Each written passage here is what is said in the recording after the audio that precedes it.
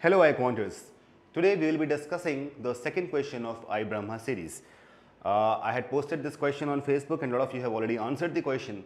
Some of you are confused at what should, should be the best approach to solve such questions. Some are confused whether it is hit and trial. But today we will be discussing a proper mathematical approach to solve this question. Let us have a look at the question. The question says find the largest four digit number for which n plus sum of the digits of n is equal to 10,000. So n here is the four digit number, n here is the four digit number and then we have sum of the digits which should be equal to 10,000. So if we think about it, what can be the range of the uh, four digit number? Okay, there's one thing that we are already sure of. The largest four digit number is actually 9999 and sum of its digits is 9 plus 9 plus 9 plus 9 is 36. That means the maximum sum of digits can be 36. This can be the maximum which also means that the number n, the number n should be greater than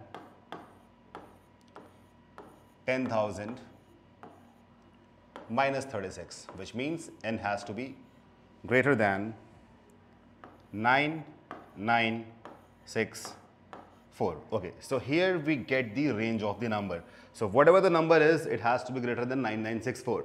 Okay, the number is greater than 9964 and of course less than 10,000. We get to know one thing that first two digits would definitely be 9 each. That means the number would be in this form 9, 9 and two more digits, let those digits be equal to A and B. Alright, so this should be the number. Now if I add the sum of the digits which is equal to 9 plus 9 plus A plus B, this should be equal to 10,000. Great.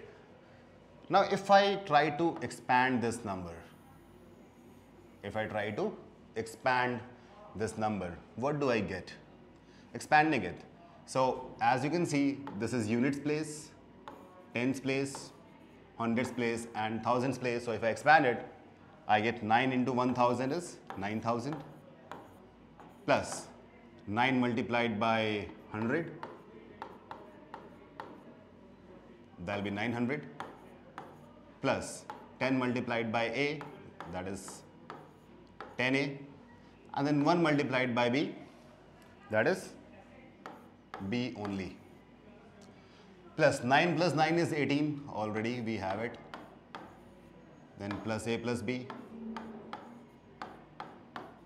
This entire expression should be equal to 10,000 okay what next if I try to solve it all the variables in the left hand side and all the constants in the right hand side what do I get so here 10a plus a is 11a and b plus b is 2b. So we get 11a plus 2b.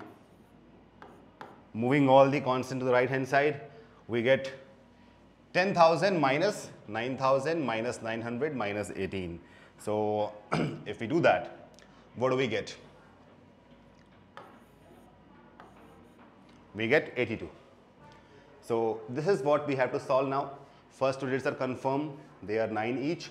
The other two digits are a and b which we'll try to find out from this equation 11a plus 2b. Okay. There is a learning in this question. If you look at this value, this is actually an even value. If the sum is even, both these numbers should be either odd or even. They both should be either odd or both should be even. Now, if you look at this 2b, now 2b is definitely even because it is uh, a multiple of 2. So, it cannot be odd. That means the first case automatically gets cancelled. The only case left is both the numbers should be even. So, 2b is of course even and now we have to make 11a even 11 is odd, that means A has to be even somehow. So that is what we have to do over here. I'll erase this slide and move on to next one. The equation from the previous slide was 11A plus 2B is equal to 82 and we also discussed that A has to be even. Moreover, we have to maximize the value of uh, the number which is given there. That means we have to find the, we have to try to find the maximum value of A. So maximum even single digit number is definitely 8. So if I put A as 8 here, we put A as 8, we get 11 8s are 88. So B will be equal to minus 3, which is of course not possible. All right.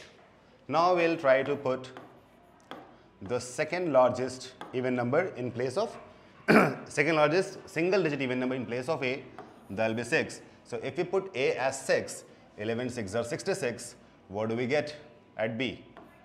We get 8. Now this means that we have found a definite solution for A and B both. But there's a possibility that there are more solutions. So if I try to put A is equal to 4, what do I get?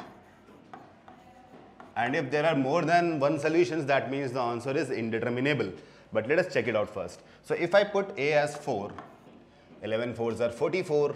And if I try to find that out, then B will actually be a two digit number.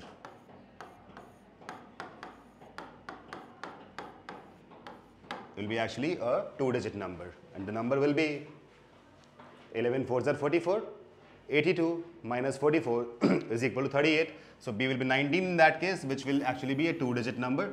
So again this case is not possible. So the only possible case we have over here is where a is 6 and b is 8 if at a we are getting the value of b as two digit number of course if we we don't need to check further. We don't need to check for a is equal to 2 all right? So this is the only possibility. Now the number will be 9, 9, A is 6 here and B is 8 over here. So the number is 9968. Hope that answers your query. Thank you.